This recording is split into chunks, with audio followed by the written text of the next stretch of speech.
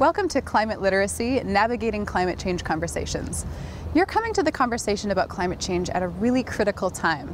The global negotiations on climate change surrounding the Kyoto Protocol have not quite gone as planned and delivered the results we might have hoped. For instance, Canada was the first nation to formally withdraw from the Kyoto Protocol. But on the other hand, we're also seeing really promising signs of action on sustainability issues around the planet. We have massive uptake of solar in China, for instance, and even a transition from coal to lower carbon fuels in parts of the United States. Very few issues have drawn this much public debate and scholarship and activism. So you may be coming to this course feeling a bit overwhelmed by the various conflicting perspectives. This might be your territory. You might actually uh, do work in the field of climate change and sustainability, and you're just looking to figure out what resources are out there or brush up on the basics. Whatever your reason for being here, this course offers a little bit of something for everyone. We divide the course roughly into two halves. The, the first half focuses on the basic science of climate change, under, understanding the components of the climatic system, how they interact, and what effect we as humans might be having on them.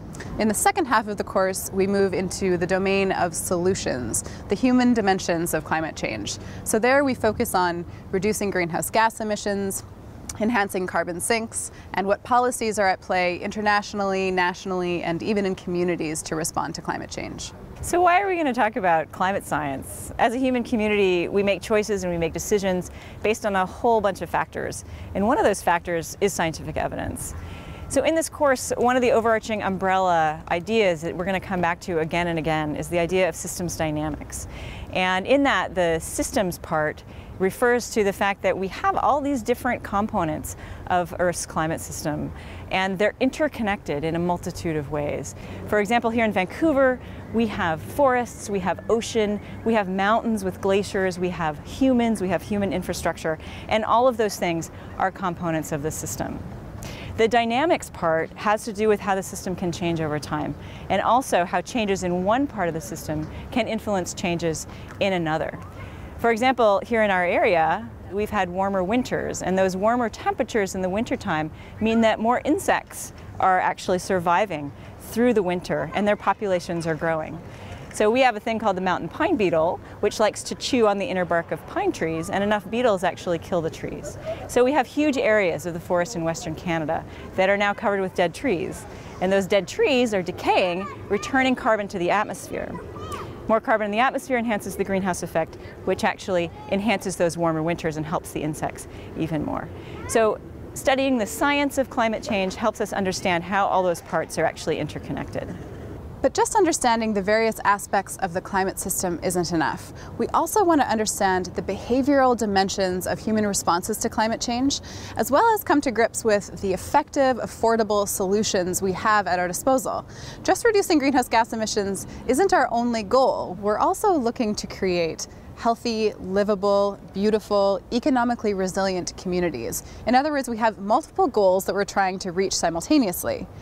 You may have also heard of some targets associated with climate change. For instance, keeping warming to within 2 degrees above pre-industrial levels, or reducing the concentration of CO2 in the atmosphere to below 350 parts per million.